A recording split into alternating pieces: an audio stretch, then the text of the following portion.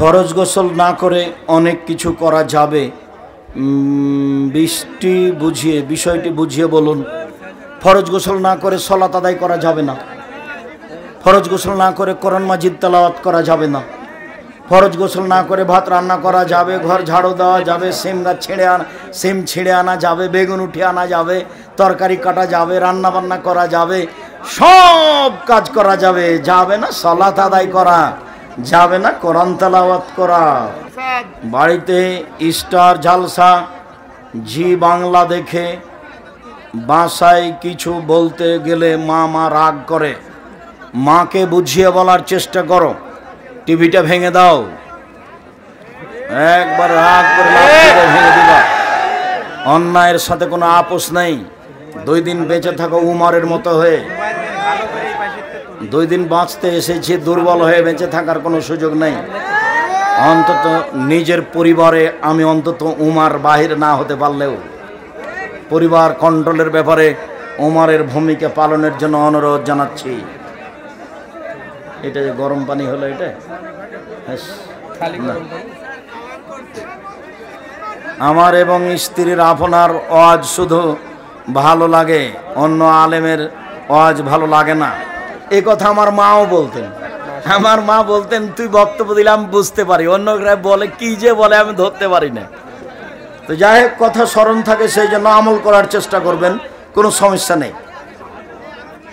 অজের জন্য কি রাস্তায় টাকা চাওয়া যাবে কি? এইভাবে টাকা চাওয়া যাবে না, বিরত থাকতে হবে।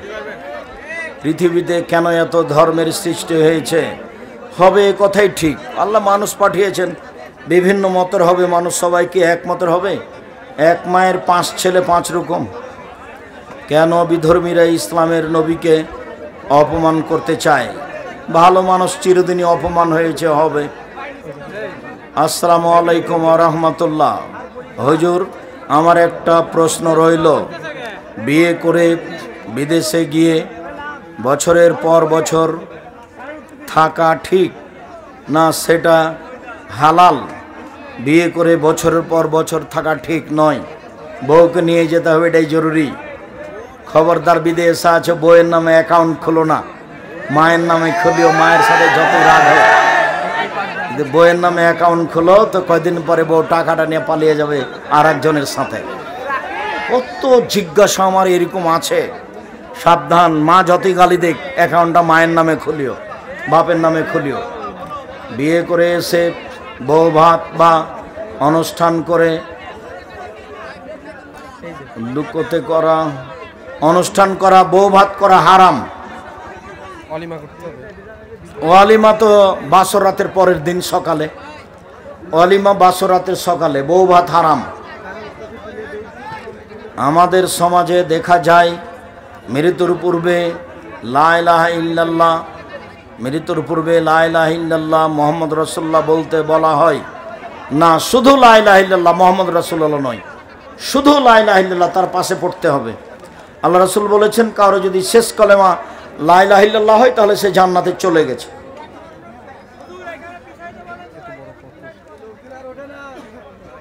তোমরা একটু কি, অসুবিধা হচ্ছে? একটু পিছিয়ে দাঁড়ান না আপনারা। শেখ আমাদের কুষ্টিয়া জেলার শির বিদাতের ভরপুর যা বিপদ বিপদ সীমার উপর দিয়ে যাচ্ছে। কিন্তু এই শির্ক বেদাত রুখে দেওয়ার জন্য বড় কোনো আহলুল হাদিস প্রতিষ্ঠান নেই। এই শির্ক বেদাত রুখে দেওয়ার জন্য আপনার পরিচালনায় কুষ্টিয়াতে একটি হাত জি জামিয়া সালাফে গড়বে ইনশাল্লাহ অপেক্ষায় আছে। রাসুল সাল্লাহ সাল্লাম বলেছেন আমার উম্মতের বাহাত্তর কাতার হবে এর মধ্যে এক কাতার যাবে জান্নাতে। বর্তমান সময়ে অনেক দল আছে এর মধ্যে আলে হাদিস কি সেই জামাত এটা এইভাবে নয়। যেখানে যারা কোরআন হাদিস কোরআন এবং সই হাদিস মেনে চলে তারাই এ দল একজন হলেও। মানুষের মতামতকে উপেক্ষা করে কোরআন এবং হাদিস মেনে চলে যারা, তারাই এ দল একজন হলেও, জঙ্গলে হলেও, শহরে হলেও। বাহাত্তরটা দলের একটাই জান্নাতে যাবে, বাকিরা যাবে না। সেটা হলো সেই লোক যারা কোরআন এবং সয়াদিস মেনে চলে, একাই হলেও। শেখ, আমার পারিবারিকভাবে বিবাহ ঠিক হয়েছে, এখন কি আমি আমার হবু বিবির সাথে কোনো কথা বলতে পারব? এই কথা তোমার জিজ্ঞাসা করা ঠিক হয়নি। বিবাহের পূর্বে তার সাথে কোনো প্রকার কথা বলা যাবে না, সব হারাম। আসসালামু আলাইকুম সাহেব কুষ্টেতে একটি জামিয়া সালাফে তৈরি হবে ইনশাআল্লাহ। ফরজ সলাতে ইমামের সাথে নামাজরত অবস্থায় প্রতিনিয়ত সুরা ফাতেহা শেষ করতে না পারলে সলাত হবে কি? হবে। ইমামের সাথে আপনার সলাৎ হবে, ইমামের হবে না। আসসালামু আলাইকুম। কোনো সংগঠনের সাথে যুক্ত না থেকে যদি মৃত্যুবরণ করি, তাহলে কি জাহেলিয়াতের মরণ হবে? জি না, ভালো মরণ হবে। যার সাথে আপনি গেছেন আরও তো দল আছে, আপনি কার সাথে গেলেন? কোনটা ঠিক আপনি কি দিয়ে বুঝলেন? মুসলিম খলিফা যারা শাসন বাস্তবায়ন করতে পারে, আইন বাস্তবায়ন করতে পারে, তারাই হলে খলিফা। তার সাথে বায়াত করতে হবে। সংগঠনের নেতার সাথে বায়াত করতে হবে না। ইদানিং যুব সমাজে সলাতের পর মাথার উপরে হাত উঠিয়ে মোনাজাত করে। মাথার উপরে হাত উঠিয়ে মোনাজাত করা বিদাত। আপনার প্রচলিত নামাজ শিক্ষা বইয়ে মাথায় টুপি দেওয়া সৌন্দর্য ও উত্তম কিন্তু পালন হচ্ছে না। সেটা না হোক। জরুরি তোর নয়, তবে সলাতের বই সবাকই পড়তে হবে। আমি চেষ্টা করেছি মানুষ হিসাবে এই শতাব্দীতে সবচেয়ে ভালো করে লিখার। আমি একজন নবমুসলিম, আমি ইসলাম ধর্ম গ্রহণ করেছি আট বছর। আমি ইসলাম ধর্ম গ্রহণ করার পর আমার স্ত্রী আমাকে কোর্ট থেকে তালাক দেই এখন আমি তাকে গ্রহণ করতে পারব কি না? পুনরায় বিবাহ করতে হবে তাহলে পারবেন।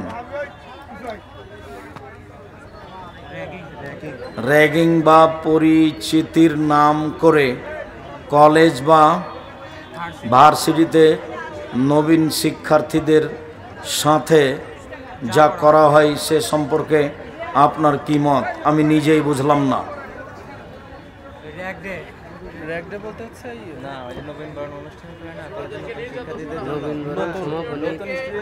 স্বাগত জানানো হয় ভার্সিটিতে ও, র্যাক ডে যদি এমন কিছু হয়। ও আচ্ছা পুরাতনেরা নতুন কাছ থেকে নির্যাতনমূলক কিছু আদায় করে। হ্যাঁ, হ্যাঁ, এগুলো তো হারাম কাবির এখন এগুলো বেঢঙ্গা নীতি। মসজিদের নাম কি আহলে হাদিস জামে মসজিদ রাখা যাবে? না এটা তাহলে কেমন হয়? দলিলের ভিতরে রাখতে হবে তবে উপরে একটা নাম ইসলামী নাম দিতে হবে। বায়তুল নূর বায়তুল হামদ। এরকম কিছু দিতে হবে। আমাদের সৈনিকরা যারা বিদেশে মিশনে মিশনে যায়, তাদের যে গরু, ছাগলের ও মুরগির মাংস খাইতে দেওয়া হয়, সেই গোস্ত অনেক দিন আগে জবাই করে আনার প্রশ্ন, এই জবাই আমার প্রশ্ন, এই জবাই কীভাবে হয়, কেন কেন দেরিতে হয় কি না? আচ্ছা যাক। কীভাবে জবাই হয়েছে জানা না থাকলে খায়ও না। আর যদি মনে করো খাব তাহলে বিসমিল্লা বলে খেতে হবে। শায়েখ আপনি বলেছেন যাদের চুল দাড়ি সাদা হবে তারা মেহেদি ব্যবহার করবে। কিন্তু আপনি নিজে ব্যবহার করেন না যে করব ইনশাল্লাহ আর একটা সাদা হয়। মাহফিল উপলক্ষে মসজিদকে লাইটিং দিয়ে সাজানো যাবে, না যাবে না। অপচয় খরচের কোনো সুযোগ নেই।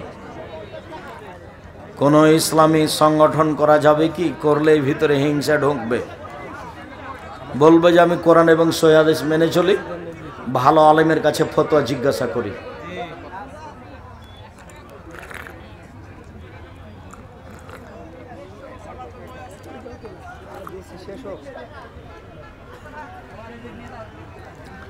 প্রত্যেক অজ শোনা বেশি জরুরি না বই পড়ে এলম অর্জন করা দুটাই জরুরি, দুটাই খুব জরুরি।